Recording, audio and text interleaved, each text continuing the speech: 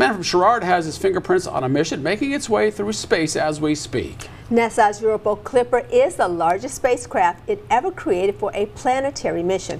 Our Quad City Sharon Wren spoke with the man achieving his dream. One of Ramy Traub's biggest dreams is already up in space. He's playing a vital role in NASA's Europa Clipper mission, which is on its way to the largest planet in our solar system and will reach its destination sometime in 2030.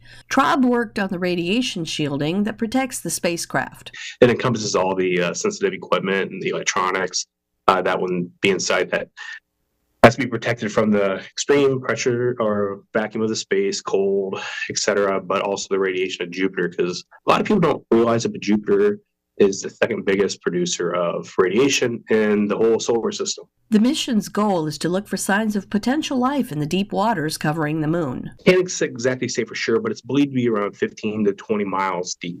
Uh, probably deeper in some areas, but below that is around 100 miles uh, deep ocean. To put that in perspective, the Mariana Trench, the deepest part in the world uh, on Earth, is about seven miles.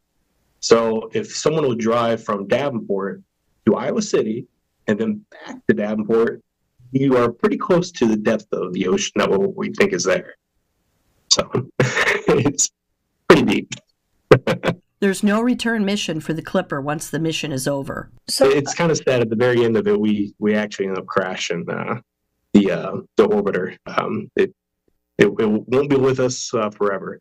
Uh, the plan right now is to crash into the moon of uh, Jupiter uh, Ganymede.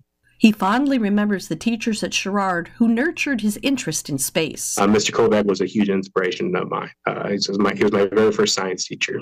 Um, couldn't couldn't say much, uh, you know, bad things about him. He's been always there on my side, and he's he's awesome.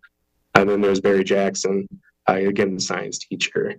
And then there's Miss Crippen, and then there was also uh, Miss Kelly uh, all four of them kind of had a unique spot in my heart there at Sherrard, and they, they treated me good and kind of kept pushing. Traub's next project is fine tuning the Nancy Grace Roman telescope, which he says will eventually replace the Hubble Space Telescope to give us even more visibility into the night sky.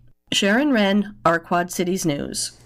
Ramy Traub shares his love of space with his five year old daughter, who he nicknamed Starshine.